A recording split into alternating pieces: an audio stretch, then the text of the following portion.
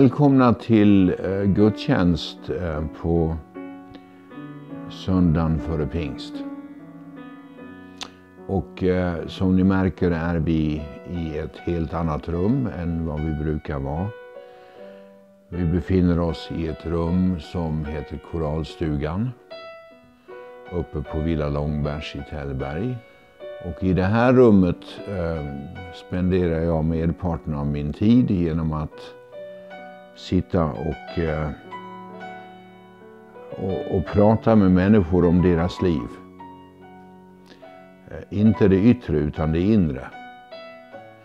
Och att göra det just i det här rummet är väldigt speciellt eftersom i det här rummet sattes eh, 1937 års psalmbok ihop med professorer och musiker som Oskar Lindberg och och, eh, så det har liksom en rymd i sig och det är väldigt eh, skönt för människor att kunna komma in här för de reagerar alltid liksom på att det är, ja man blir lugn här inne.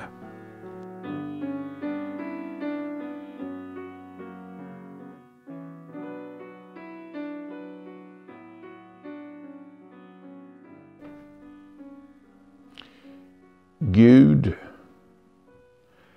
som är sanningens ande. Låt din nåd vila över oss och gled oss djupare in i livet med dig.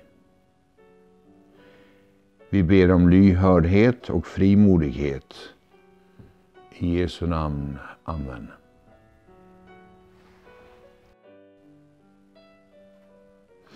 Jag läser ur Johannes evangeliet. Jesus sade, när hjälparen kommer som jag ska sända er från Fadern, sanningens ande, som utgår från Fadern, då ska han vittna om mig. Också ni skall vittna, ty ni har varit med mig från början. Detta har jag sagt er för att ni inte skall komma på fall.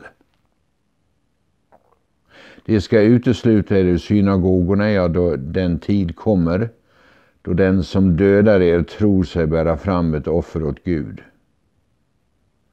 Och detta skall de göra därför att de inte har lärt känna Fadern och inte heller mig.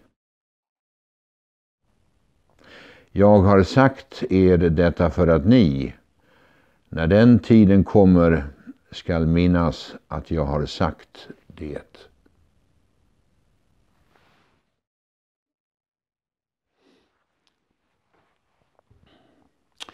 Eh, jag sitter här och, och eh,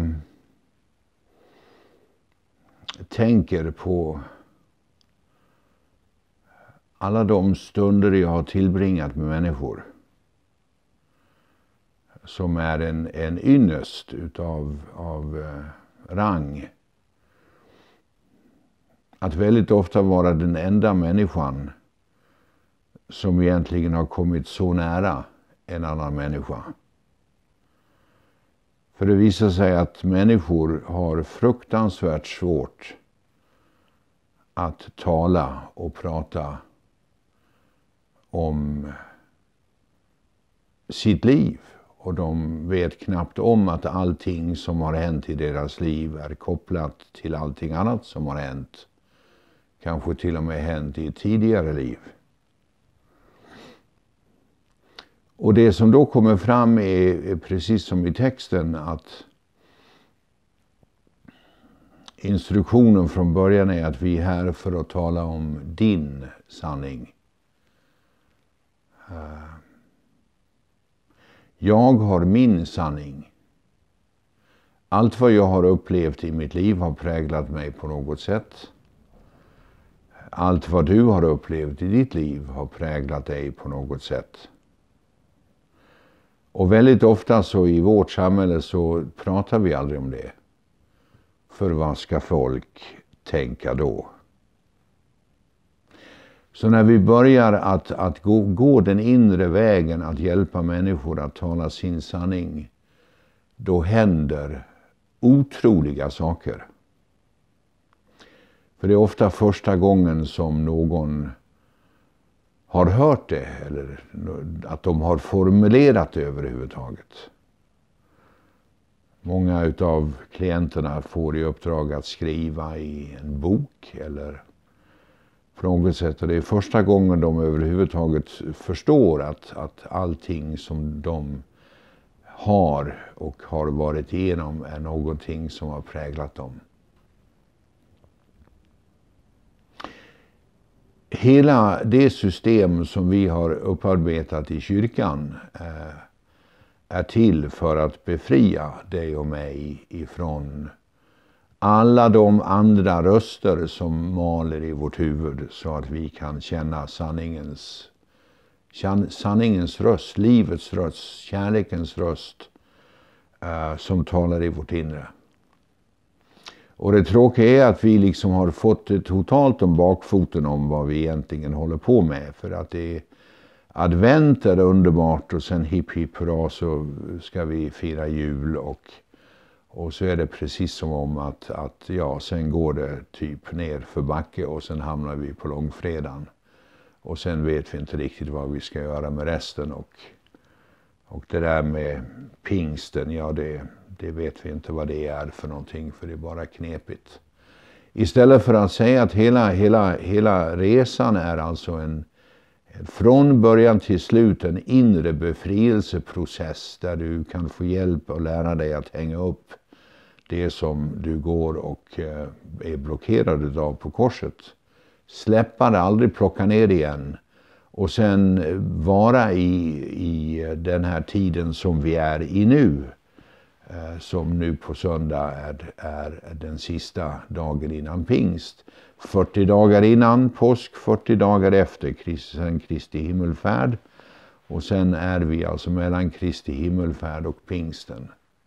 Och på pingsten kommer alltså helig ande till, till hjälp eh, och kan komma in i dig och mig på ett sådant sätt där all bråten och all belastning och alla, allt det vi går och bär på har varit förut. Eftersom vi har släppt det så kommer alltså livskraften, kärleken, försoningen, befrielsen in på riktigt. Och det är det som händer på pingst, det är hjälparen och den rösten den talar. Den talar i dig precis hela tiden. Den talar i mig precis hela tiden. Men ofta så har vi lärt oss att lyssna på rädslans, rädslans röster mer. Så vi har väldigt svårt att höra rösten som hela tiden säger till dig och till mig. Jag välsignar dig och jag bevarar dig. Jag låter mitt ansikte lysa över dig och jag är dig nådig. Jag vänder mitt ansikte till dig och jag ger dig frid. I Guds, Faderns, Sonens och den helige Andes namn. Amen.